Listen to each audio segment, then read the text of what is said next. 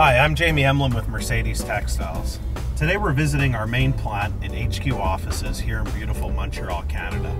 This is where we manufacture fire hose, couplings, innovate new products, perform R&D, and just about anything and everything to do with water delivery.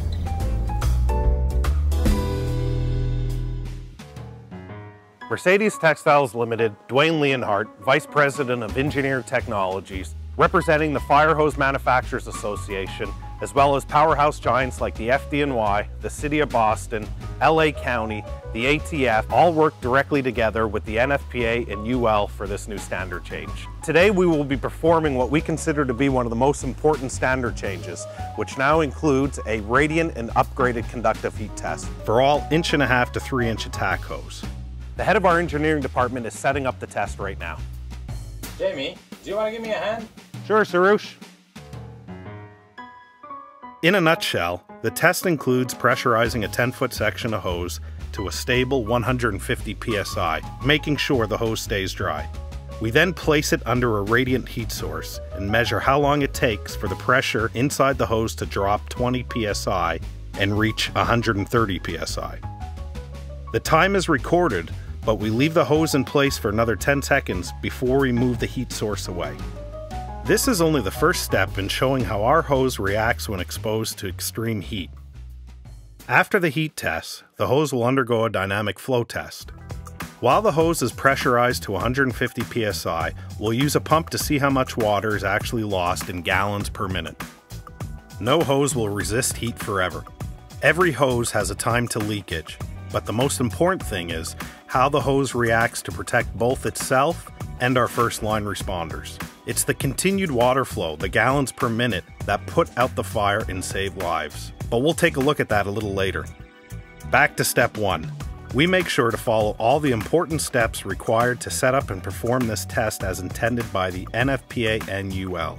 We have the support frame with hose height adjustment for various sizes. We have the gas fired infrared stainless steel heating element fed with a specific mix of propane and air using a premix flow controller.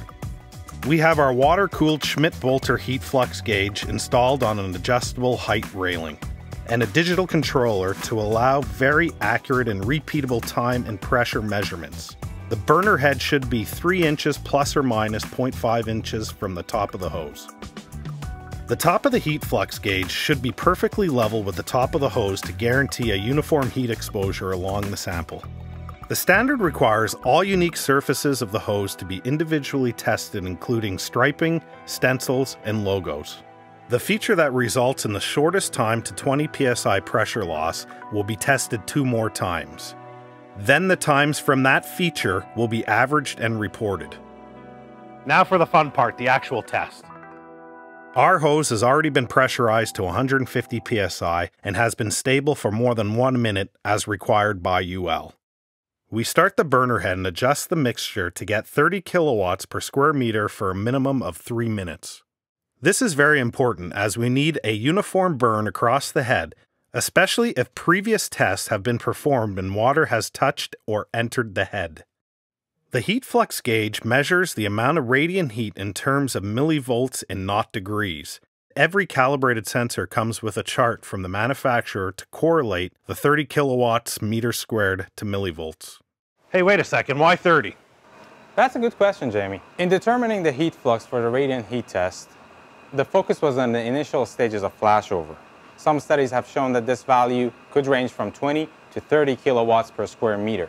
Now ultimately 30 kilowatts per square meter was chosen as the target for this test.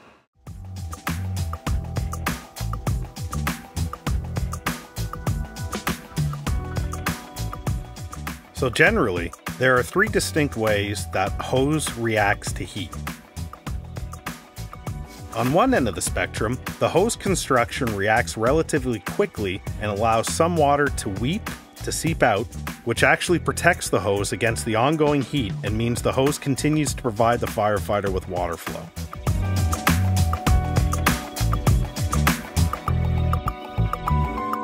On the opposite end of the spectrum, the hose will tolerate the heat for a longer period of time while the material is slowly deteriorating, which in many cases can lead to rupture or catastrophic failure without warning, which could leave the firefighter stranded without water.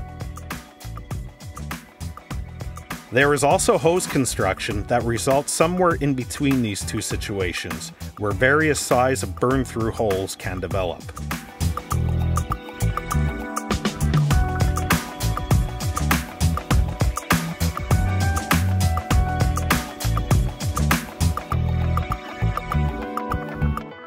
As you can see in this video, our Murtex lined hose fits in the first category, where the leaking water aids the hose in maintaining its structural integrity, and ultimately, it increases the safety of the firefighter.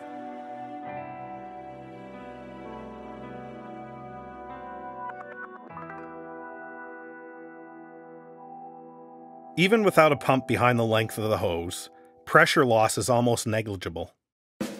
Now here's where things get really impressive. After the radiant heat test, we perform the flow test.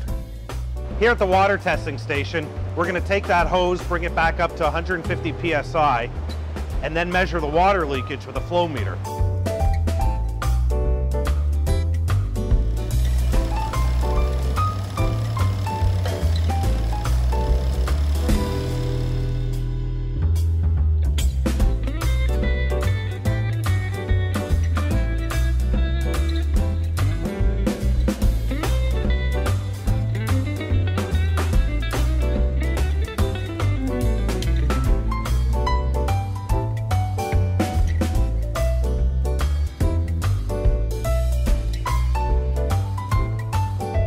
Our hoses test with incredibly low gallons per minute water leakage.